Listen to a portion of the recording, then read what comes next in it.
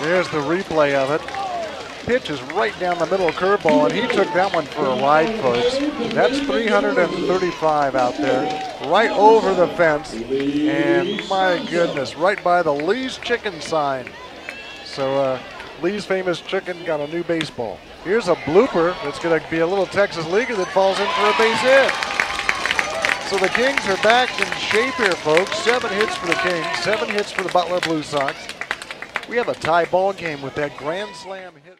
The best when it comes to bangers and mash. Uh, they're getting a brand new menu coming out here, so you got to make sure you That's stop by and check that out. Great place, not just for lunch, dinner, but after the football game, you come here because this is the place. Because you'll see the ball game right That's here. right. Right, right here on the.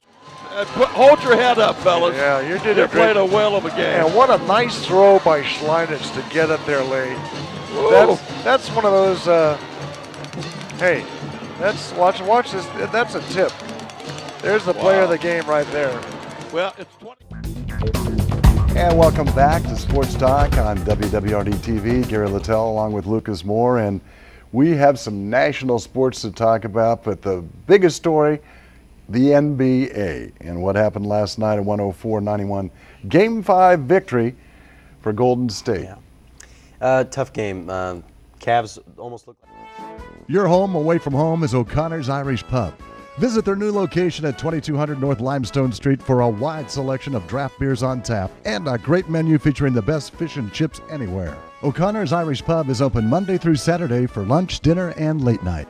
Bring in your clan to watch all the games on 24 big screen TVs. For great food, fun, and spirits, visit O'Connor's Irish Pub at their new location at 2200 North Limestone Street. It's your home away from home.